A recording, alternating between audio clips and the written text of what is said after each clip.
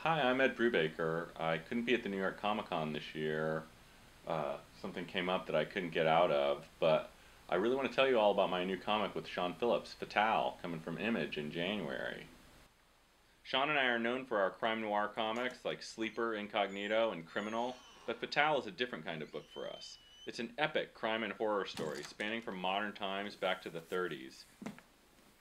It starts with a detective who stumbles across an ancient secret. Uh, it's got strange cults, like something out of an old Hammer horror film or a Lovecraft story. Uh, it's got lots of murder and mayhem, and uh, a woman who may or may not be the living incarnation of the femme fatale. Oh yeah, and there's monsters too. So uh, anyway, Fatale, uh, it's coming from Image in January. Buy it. Buy it.